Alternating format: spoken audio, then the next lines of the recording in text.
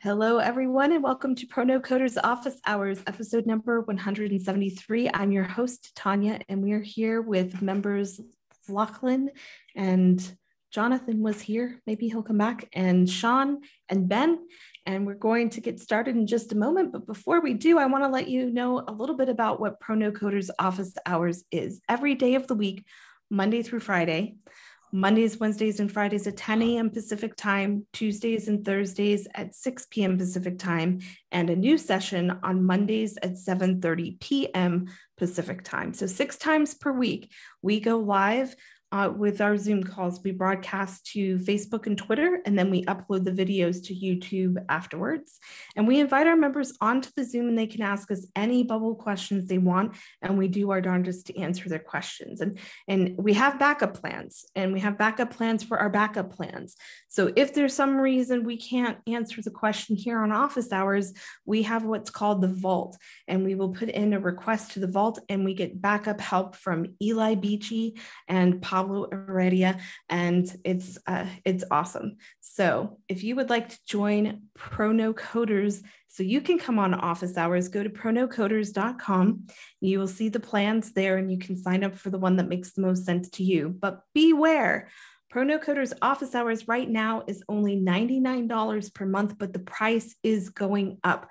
On January 1st, we're raising the price to $120 per month. So, or sorry, $119 per month.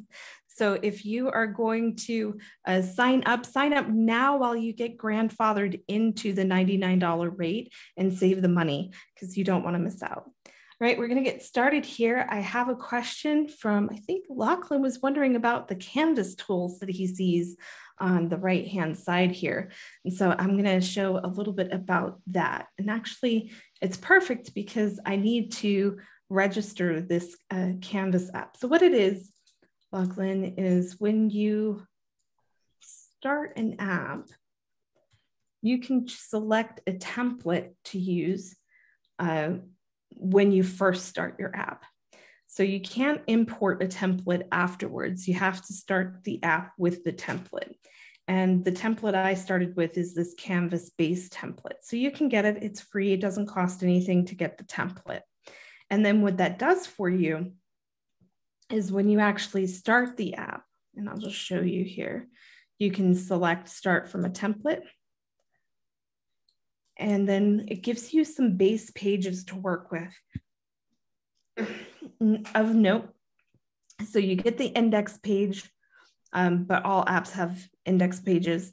Um, but you get the admin portal, you get the account page, you need the legal, the login, and this page here is really interesting because it's not really a page at all. It's more like a placeholder for, um, for Canvas has a page builder that I'll show you.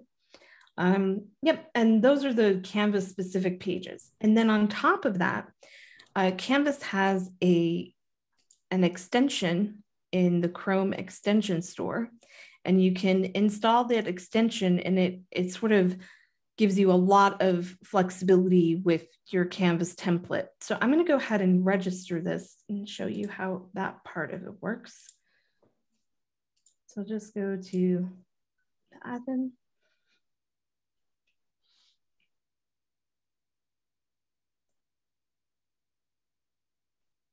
Come on, Bubble. We believe in you. We think you can. We think you can. The admin page always takes a little bit longer to uh, to load because it has so much stuff in it. But as you're about to see, it's pretty powerful.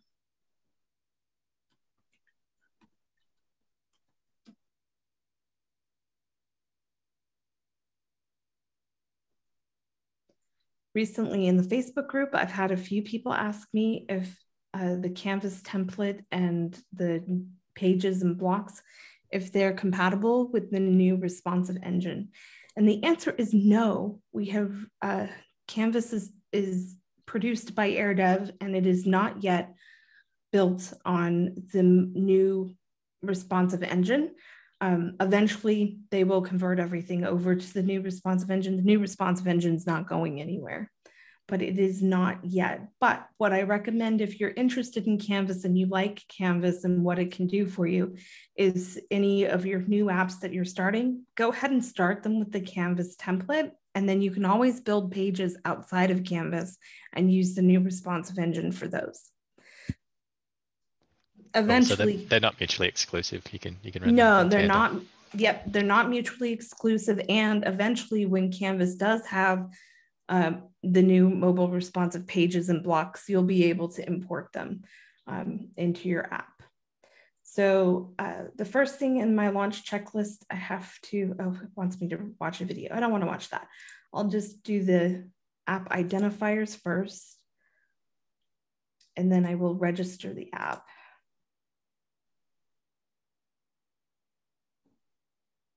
And then Canvas pretty much already knows me. So I think. Hopefully, if you're their queen. I don't know. if there's a queen of canvas, I think her name is Faye, to be honest. She's amazing. Um, so I'm going to go ahead and I'm just choosing one here. So I'll register the app. Has there been any timeline for the canvas in your responsive, or it's just not being talked about yet?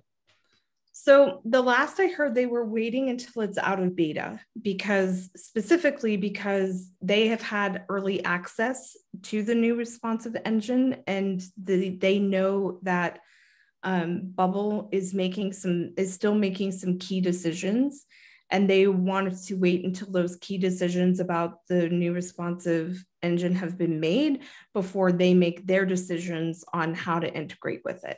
So for right now i don't i don't think they're working on it. They're pro i mean everybody's been super like interested and intrigued by it. So we're all playing around with it. Um you know eli is on our team and he's one of the canvas builders. Um so one of the canvas devs. And so uh, yeah so they're they're definitely preparing for it and they want to get it done as soon as possible. I also think they're going to be motivated a bit because i heard one developer say that they're like they're so excited about the new responsive editor and how fast and easy it is to use that they they want to wait to take on another project from airdev until that's done. So um, they're they're definitely motivated to get it done. But if if they know something that I don't know in terms of the key decisions being made at Bubble, then it probably makes perfect sense for them to wait. Mm. So, um, okay, so now I've registered. So when I come back in here, you can see instead of giving me the register your app, it's saying, okay, now you can add a page and so forth. But to add a page, you have to go to the design tab.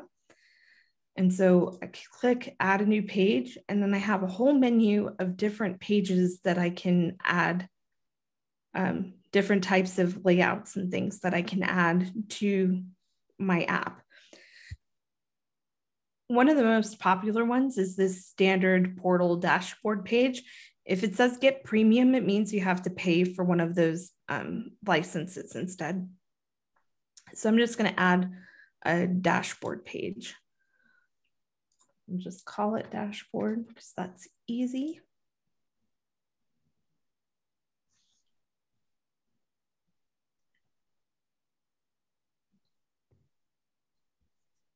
And this is a little different than the other, um, I don't know if you noticed, but there's another plugin on my page as well, um, or extension down at the bottom, and it's made with frames. And so Canvas works a little bit more deeply than Made with Frames. Made with Frames is more about visual elements that you can paste onto the page. Um, so this one is more about visual elements and not whole pages. And it doesn't really have any, it doesn't come with any workflows. Whereas Canvas, you go onto the workflow page and you already have several workflows already done for you. So you'd sort of say like maybe Canvas for building apps and then the other ones for maybe like a website or something. Exactly, precisely. Um, well, I mean, you can you can add the workflows like they come ready with buttons and things like that, but but Canvas has a certain it has a certain depth and it has a certain logic to it that is missing with uh, made with frames. So it, Canvas is more like a mindset of building. I learned so much just learning how to use Canvas, is what I would say. So um, now I have this page, and one thing you'll notice about this page is not very much is visible on the page. Um, part of that is because this is actually empty. There aren't any blocks in this page. So I'm going to go ahead and add a block or two to the page just so we have something to work with. So see here. Yep, this one will do.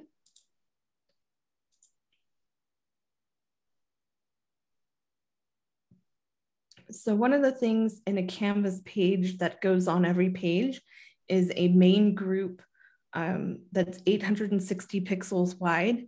And then all of their blocks fit into that 860 pixels. So everything's mix and match. And the, then they all come with the same design aesthetic. So they fit really well together. And then the one other thing that you can do in addition to that is you can also update your app colors. So all Canvas standard comes with these colors, but I can simply go in here and change each of these colors to something else that I like better.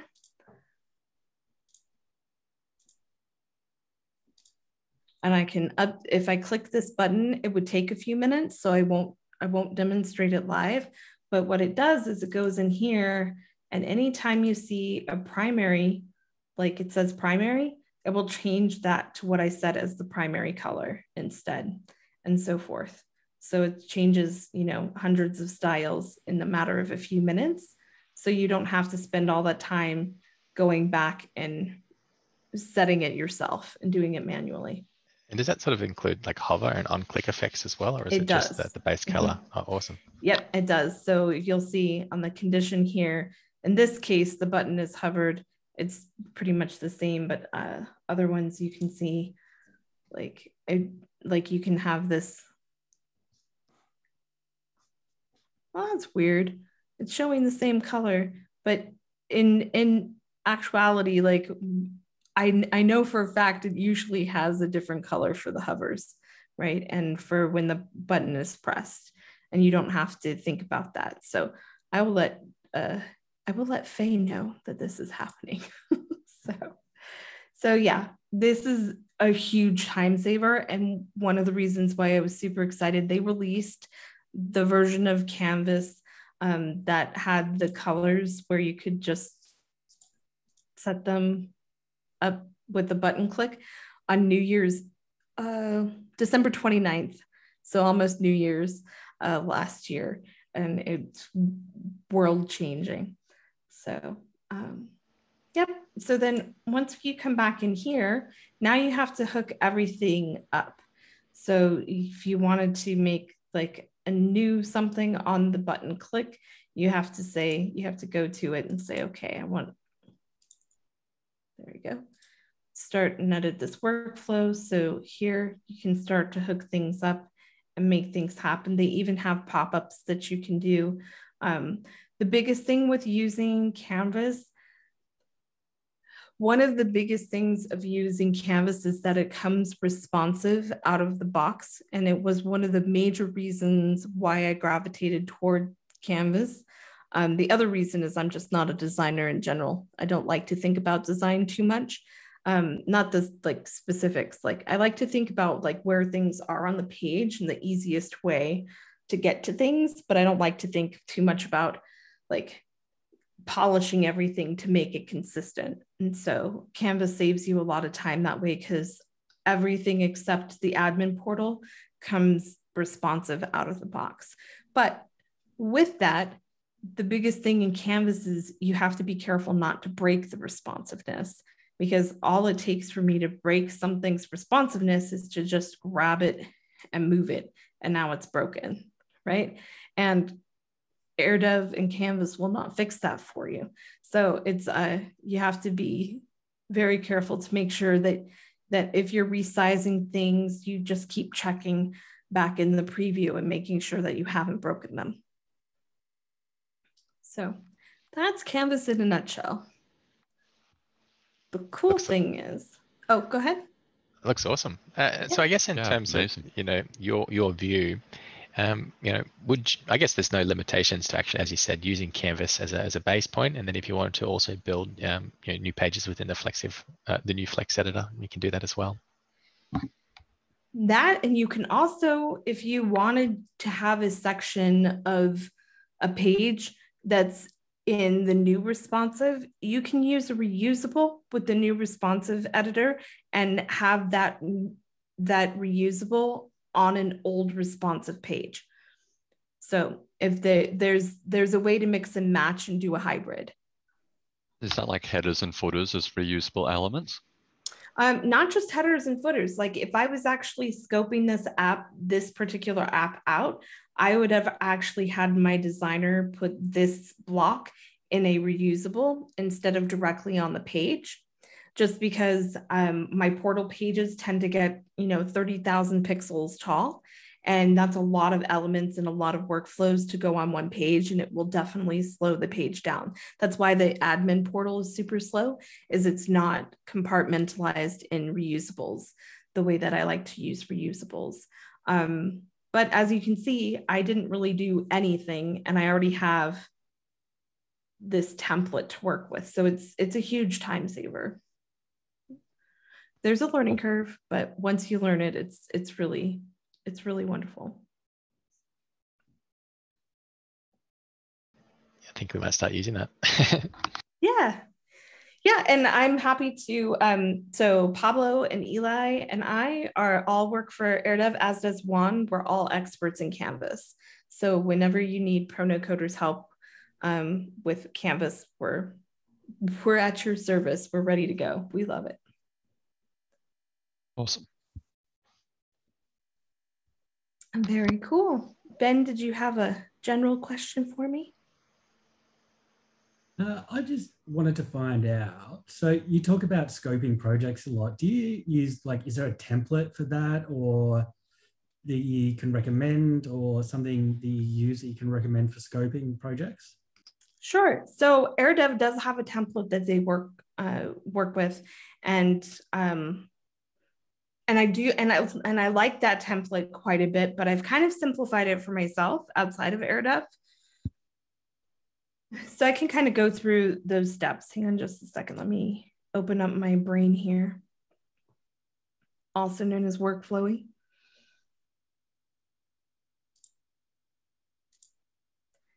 There we go. So, um, so like my scope template kind of goes through like some big sections, right? So I like to always start with the objective, like what are we building? What do we want to have in the in the MVP, basically, like the first version. Um, then I go into like uh, design stuff. So I want to know, um, I want to know colors, logos, and things like that. And then I go into the the users, like I define if there are different types of users. So generally there's going to be a standard user and then there's going to be an app admin user. I almost always recommend that you have an admin portal and that you remove um, administrative work out of the backend editor because I don't think I don't think it's good to update your database from the database 99% of the time. Um, and then, but you might separate your standard users. Like a lot of times you'll have uh, buyers versus sellers. If those are two distinct, or maybe you would have um, freelancers and businesses, right? So if you're connecting like two different types of users together in your app in a two-sided marketplace for some reason. So, so I think through the users, then the next, I think through the pages. And by pages, I don't necessarily mean individual bubble pages because I tend to like, um, and I have waffled on this over the last year. It's been quite a learning experience. But I like the, um, I like doing as, I won't say everything on one page because that tends to break quite often. But I would say as much of the user's session on one page as possible. And the reason for that is one of the main I wouldn't say detriments, but costs of having an app versus a static website is that the page page loads take a long time because it's you know bubble has to render a lot of different things in order for the app to work and so what you're what what i'm aiming to do by reducing the number of individual bubble pages in an app is reducing the number of page loads that the user has to experience in order to get their work done or in order to um, do what the app is intended to do. So, um, so think through the pages like admin portal, um, user portal, account page. And then if you need to have any other specific individual pages, um, I try tend to try to do as much as possible in each user's portal as you can, right? So if I had a freelancer and business uh, marketplace, like a gig marketplace, I would probably have a free freelancer portal and then a business portal, right? And then after thinking through like the pages and the experiences that I want the user to have and separating those out, um, then I start to think in terms of database. Like, what is the best database structure to support the experiences that I sort of lay out in each of these pages? And remember, the page is not just a single purpose. Um, portals have tabs. So you have to think through like, what is an admin portal going to have versus what's a freelancer portal going to have, and so forth. Um, and then thinking in uh, pages. The other piece of this is when you're thinking through the tabs, you can also think in terms of reusables because when you use reusables on the page for each tab, and then sometimes even reusables within reusables, um, then what you're doing is you're taking you're taking elements and workflows off of the page that needs to be loaded and putting that burden into individual reusables, which speeds up not just your page load, but also your editor. So when you're working in the editor, you will have a much better time if you're working with reusables because things will be faster. It can be a little tricky learning how to use reusables. I think we we kind of covered that Ben earlier on when you came on to office hours um, but it's well worth it to learn how to move data in URL parameters and custom states um, in order to be able to use reusables and chunk everything down into reusables so that your page loads much, much faster that way. So did that answer your questions like how I do that? I, I can drill down farther into like like what I do here is I would say um,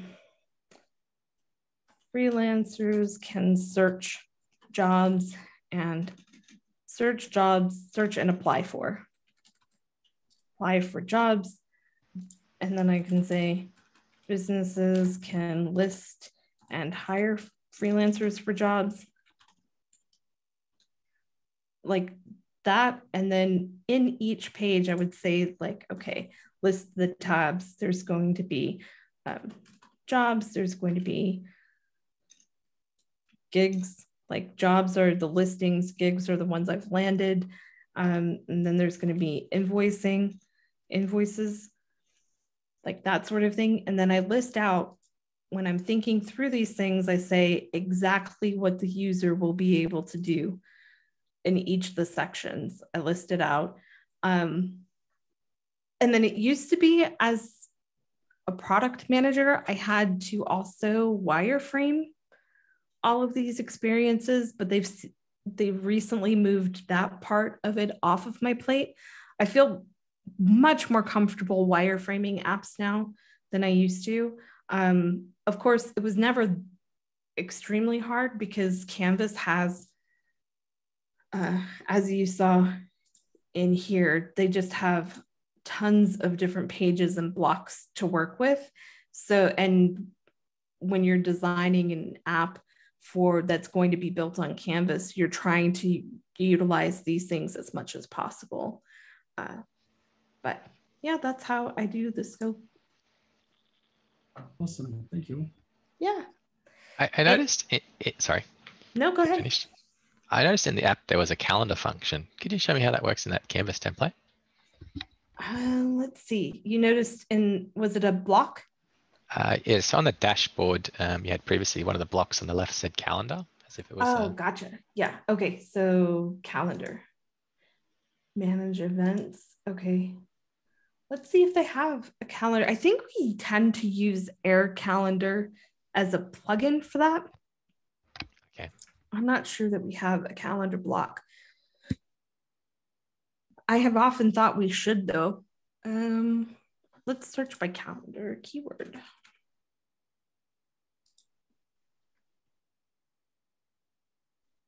Oh, look at that monthly calendar scheduling widget. So I don't think that's what you're looking for though, because you're looking for like being able to see what's going on in the calendar. Is that right? Yeah, but that's all right. So we just need to use a plugin or something. Yeah. So I I actually think um the one that video that I sent over might be better for your purposes. Yeah, I think rebuilding it ourselves will be the better option potentially as well, but I'll get John to explore that further. Yeah, mm-hmm. sure. Um, calendars, I, I, it seems to me like they should have figured it out by now. Uh, calendars and getting getting all of them making that easier, but working with dates, I tell you what, I cut my teeth on date stuff when I was first starting out it was painful, but it was worth it.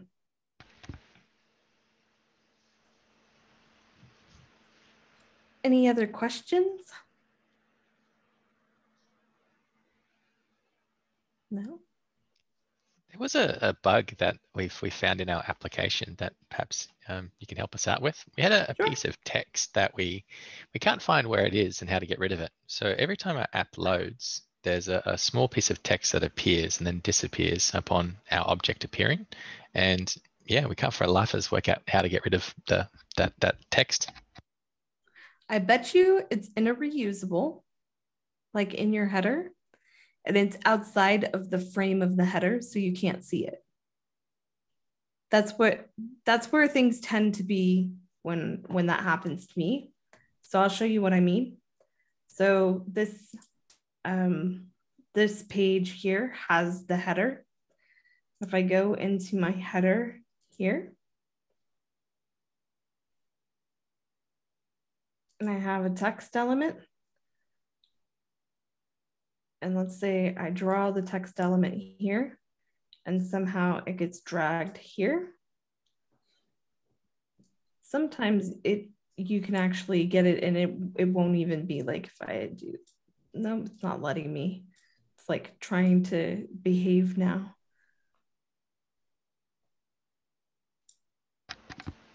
Maybe they fixed that bug. Maybe they fixed that bug and you're and you're somehow like still experiencing it because it managed.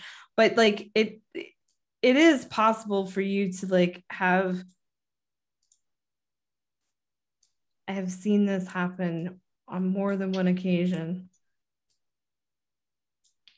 says underscore tab or something. Something underscore tab. It's very weird. Nope, and still wants to behave for me now. But if I go here,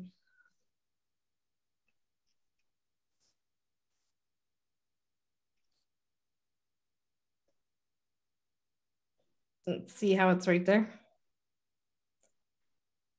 And hmm. so you have to like you have to figure out like where it is right? Because if I go but, and I look on this page, I won't find it because it's not on this page. It's on this reusable. But, but that's static. So this one just flashes. It, it's there for a moment and then it disappears. So it's it's only when we load up the that application for the first time. Oh, I bet you what it is is it's um I bet you you have a condition on something that hides it when a condition is true. And probably what you want to do is flip it and have it so that it's not visible on page load and then it's shown when it should be shown. If it should be shown. We can't even find the element itself. So that's probably our first so point. if you go here, well, yeah, we, we can't se select it because it disappears as soon as we load it. So and it's not visible on our editor, so we can't see it to edit it. It's it's something I think I'll have to record, but it's basically the even if I refresh the page, it doesn't happen. But if I was to log in as a new user for the first time or in a new browser, it flashes for like a split second. It says something underscore tab, and then it disappears, and it's and it's like big on the screen, and then it's gone. It's. Have you tried something underscore tab? Have you tried to look for yeah, it yeah, just, app search? Yep. And you can't yep. find it at all. No. Ooh, that's no. what that's what Juan would say. Oh, it's haunted. it's a haunted app. But I bet you um no, I love puzzles like that. So we we well, can look might, for it now if you want. Like a vi- no, I, it's okay. I might, I might need to get like a video recording of it happening, okay. like a particular instance, and I'll just send it to you guys because yeah, then it'll make sense. Yeah. But yeah. it's, it's, it's quite hard to replicate sometimes. It's sort of like a, yeah. It is the once off. It's the first instance of when you log in. So you might need to do it through like an incognito browser or something to clear the cache and then, yeah, try again. And then you can see it appear for that very first time. Yeah. Oh, bugs. Um, that's actually something that I would probably like if I was having trouble finding it, finding people who who do their living as designers in Bubble, they would be able to find it like in no time. I'm sure. They're just so fast. So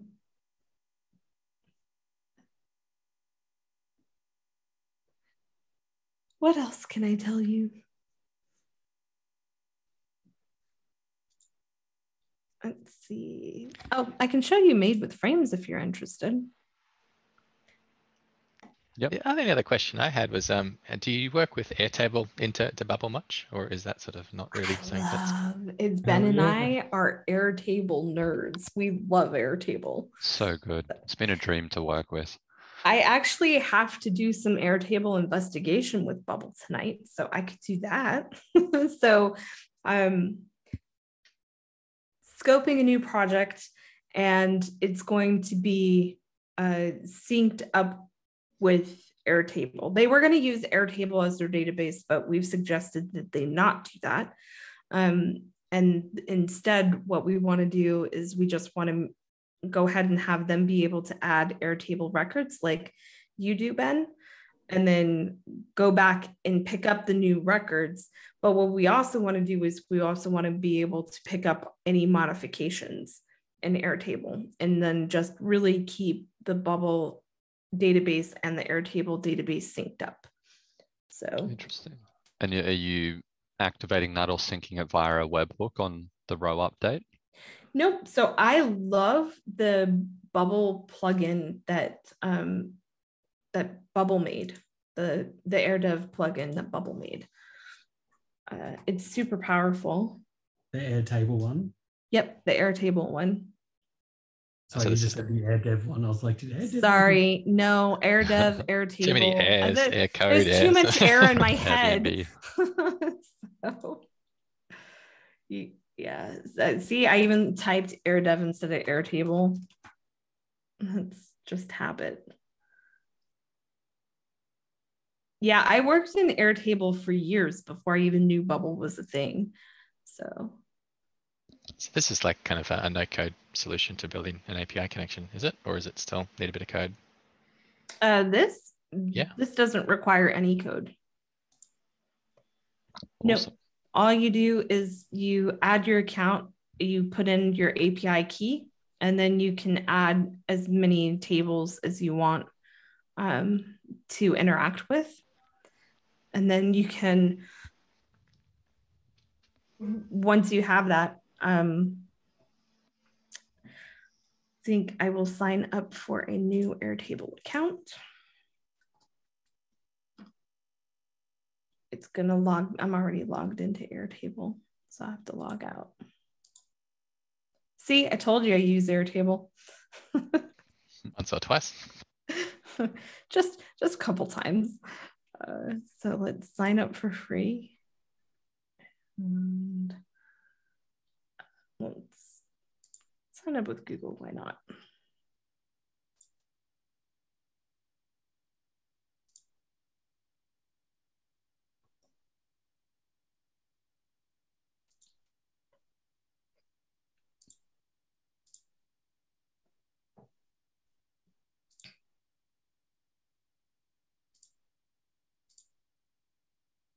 All right. So if I go in here, I'm on the free trial here, which they let me use the API for that. So I can come in here and I can generate an API key and I can copy it. And then all it takes is I come back in here and I paste it and say, uh, trial account. So now I have to put a table in here that I want to connect with. So come in here, let's see here, let's title the base. Um, table bubble and first table we can see this stuff is pretty normal here. So now I just add another table and we can do, oh, some something that happens here is when if you add your API key uh, before you have the table, you kind of have to redo it. I noticed. Did you notice that, Ben? Uh, yep. Also, there's a, a I reported a bug on that the other day, and they said that they're working on it, which is if you're trying to bring in images from Airtable into Bubble, they they're not rendering properly. They're coming in super. That's what I was gonna test. Thank you for telling me, because okay. that's that's a critical uh, component, and it's a really bad one too because you can't. Like it's not easy to get images out of Airtable. No. Yeah, like just in general, to manually do it is painful. Yeah, this was last week, so maybe they fixed it. But last time I tried it, it was wasn't working. Got it. So was it integers or images? Images. Ah, okay. So yeah, Airtable's got integers down. I was gonna say that's pretty fundamental. yeah, that's pretty critical. yeah. But their images, I noticed even working with like years ago, I was kind of like, this is kind of dumb that I can't just download all of these images or something. It was, yeah, it was pretty silly. Actually, this would be an interesting thing to work on would be, is there a way to download the image and then show it instead of just bringing it in from Airtable? Because it doesn't even work if you've got the image URL. It still doesn't work. It comes in fuzzy and weird. Hmm. We're having a very similar issue with another platform at the moment, actually. Oh, with another platform other than Airtable, you mean? Yeah, yeah. So getting the, the image and pushing it somewhere, it's just been a whole schmozzle this morning. it has. It's it's really, really frustrating. I had that same thing. Like I was doing an API connector integration with Discord and Bubble, and it just was like super painful. So the big thing is you just select your base and you select which table and then you can initialize. And in this case, the attachment is an attachment that's correct. Um, the name is text, the notes are text, and the status is text. If you, if I had other, uh, something else that I could make it, like Ben and I were working with some APIs earlier today, and we were they were sending in the date as number. And so what Bubble recognized it as was a number, but I just needed to switch it to be date instead so that Bubble would render it as a date. Um, but this should be fine. And so I set it so that I can create and modify um, in Airtable records with Bubble, but I can also use the Airtable records as data. So I have flexibility here. I tend not to mess with deletion. Um, I, I think we did some deletion stuff, Ben, where we were like deleting the record after it was imported. Uh, we tried that, and then what we ended up doing was um, changing the status so it came out of the view. Got it. Okay. Yeah. So, but then I, you know, if I want to set up a workflow where I can uh, add stuff to it, I could just go in and make a page here and say create AT stuff.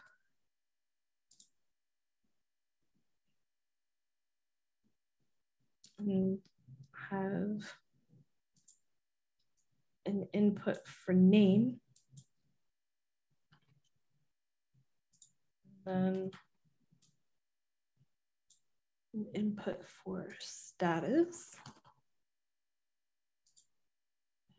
Probably multi-line input for notes.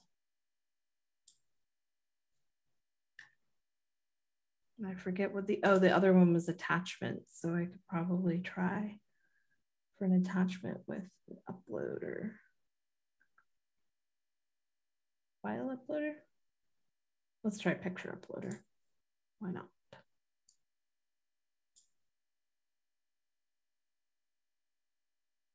And then on a save button,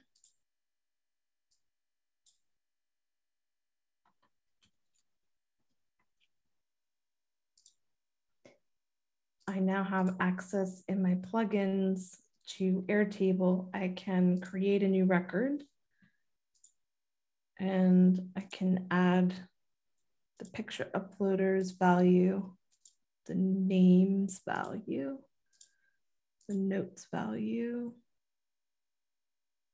status note value, and the status value.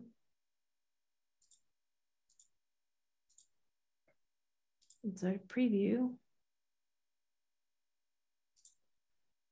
new record, brand new. This is a note.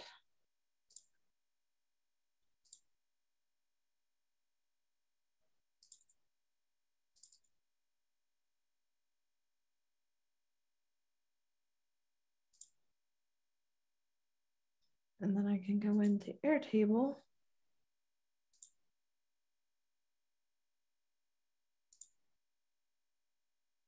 and I have my new record.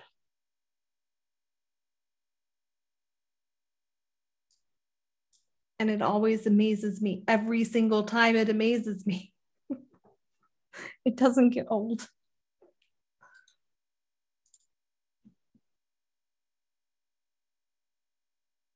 Oh, are you guys still there? Yeah, still here. Oh, okay. Yep, sorry. Yep. I was about so, to say, it just looks super convenient. Yeah it is really convenient and and it's so much nicer like the limitation i guess is even when you're like on the pro version of airtable you only get 50,000 records per table which saying only 50 and 50,000 in the same sentence sometimes is like what but but yeah it's um if you're doing any kind of automated record stuff like you can blow through 50,000 records pretty quick. Um, and from what I understand, I, they're probably improving all the time, but but things probably get a little clunky in Airtable. I know personally working with 10,000 records in um, in a single t- table in a base, like things start to slow down quite a bit with Airtable. But if you are doing some careful management of how many records you actually need to move into Airtable from Bubble, it's much nicer work to work with the data um, in Airtable and not reinvent the wheel, right? Because the kind of things that you can do here with in Airtable, building that kind of functionality into um, into Bubble I mean, sometimes it's just plain impossible. Bubble does not have formula fields. Like you cannot make a field in Bubble be a formula, whereas you can in Airtable. So, but I could also read this record from Airtable, right? So if I added a new record here and said, this is an Airtable record. And, and how is the performance of, of using Airtable as a you know, substitute backend if you're needing to, to pull data to show on pages? Yeah, we'll show you in just a second. So um, I can add a different photo and we can test that photo problem. And I guess the question is, you said that for a certain client that the, the, the Airtable became you know, not a, ideal solution. When's that crossover point of when you know a dedicated backend such as Xano or or, um, you know Backendless would be required to as opposed? Yeah, I don't even think I don't even think Airtable, like when I was researching it when I was first starting or whatever, Airtable doesn't even recommend that you use them as a database for apps, right? So, um, so I don't think that's just my opinion. Like that's something I remember reading. Now that was a few years ago, so maybe they've changed their minds, but I doubt it because I don't think they. I think they intend primarily for their users to be in Airtable. In fact, they just released last month their own app builder around like from within Airtable. What's it called, Ben? I forgot already. Yeah, I was thinking about that as well. Yeah, which is really cool. I think it's awesome. I guess there's so many dedicated apps now that have done that exact same thing that I guess they're just trying to take back that market share for themselves. I I don't blame them at all. Um, so yeah, so I would say that I would probably never. The only thing I would use Airtable to do and pull in from Airtable would probably be a formula. Like I would sync it and then I would use that formula. But at that point, I'd probably, I'm probably going with backend lister Zan, Xano if it was like, if I'm expecting any kind of volume in the records. Cool. So. And if it was a fairly like static, you know, bits of information, there's not too many users, and that would you know, Airtable suffice. Do you think as a short-term solution? Yeah, absolutely. I mean, I, I have several apps to do that. So I'm I'm scoping out one now. I'm in the middle of a build with another that was using Airtable for a really long time as the backend. The one that's now doing the Postgres database, they um they still have some stuff in Airtable. So awesome yeah so getting started for sure that makes a lot of sense so let's see here i want to see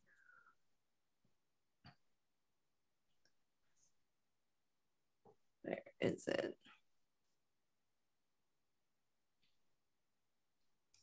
if Bubble could just make their database system look like Airtable, that would be the dream. yes. It's that would be amazing. I've ever seen that database layout. Just make an Excel look like an Excel sheet or anything else. It's terrible. All right. Is uh funny how much the user experience, yeah, and, and the, the, visual aesthetics has on the actual impact of you using the the, the, the tool. Yeah, Definitely. Yeah. Doing here? What is it? What's my table even called? First table. That's what it is. So data source would be get data from an external API, Airtable first table, and no constraints. And then I can come here and I can show my name. Insert first table's name.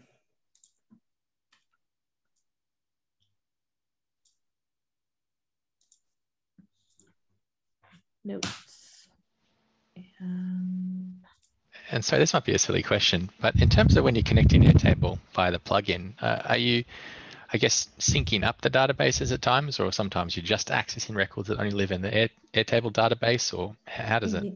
Yeah, so so right now I just created one, um, and then now I'm doing, I'm pulling information into it just to display it. But what we have done with backend workflows and and the same um, plugin is to is to do a recursive workflow to go and retrieve records that we haven't already retrieved and pull them in and create new records in the database in Bubble. And, and, that creates a better yeah, speed performance, or that, that's slightly better than having to call Airtable each time. Yes. Um, it also, yeah, it is, and it is also, and I think probably that has to do with the clunkiness of Airtable and the fact that it wasn't designed to be the back end of an app, um, except in its own platform. Um, because really making an API call and getting a response should shouldn't be too much different from one API to the to the other. But uh, for but but when I can go and see if I can find it where Airtable says this is not the intended use of Airtable. Uh, I, I, guess the, the big thing I see it is, is we, we use Integromat a fair bit to, to do most of our API work because we're not quite able to write APIs ourselves. So we can use Integromat to get the data pushed into Airtable and then have that set as a recursive you know, um, workflow in order to update the database you know, every 24 hours or something routinely. That way we've got the API connections all built. We're just using Airtable as that proxy.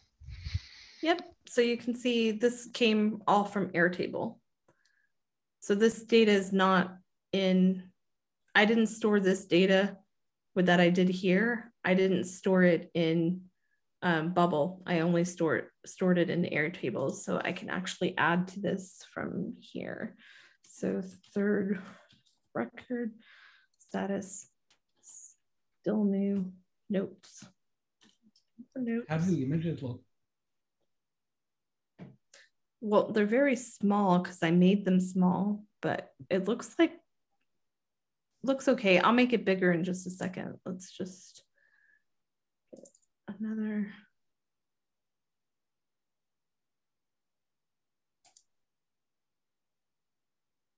Yep. So that was pretty fast. I don't know that that was any slower than what it is when I build with Bubble, honestly. Interesting. That's um, I think that really gives us a good short-term solution to solve. You know, we quickly get things sorted anyway. Definitely. So I think we need to build, yep. especially with how easy Airtable is to build with. Yeah, let's see if I make this. Uh, if I go to the repeating group and I make this just one instead, and I make this picture way bigger. And maybe just move this down.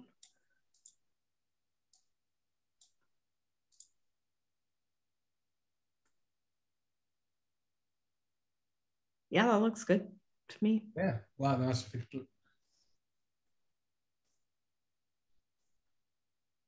Yeah. Awesome. Cool. That's, I think we've knocked over the canvas editor. We've knocked over how Airtable works. That's like, yeah, two of the big lingering you know, questions I had as well, all, all resolved. That's awesome. Yeah. Yeah. Welcome to office hours. Yes, I, this was what I had. This was the dream. That's what I wanted to do. So awesome. Well, we're going to wrap up this broadcasted section of office hours, move into our after hours, which is members only, which means if you would like to become a member of Pro NoCoders, you have to go to pronocoders.com and sign up. And remember, the price is going up at the new year. We'll be charging 119 per month instead of 99. So if you like that $99 per month price tag and you get to come to six sessions per week, uh, then please go sign up now because we'd love to see you. Thank you everybody for watching. We'll be back here tomorrow morning at 10 a.m. Pacific time. And yeah, I'll see you then.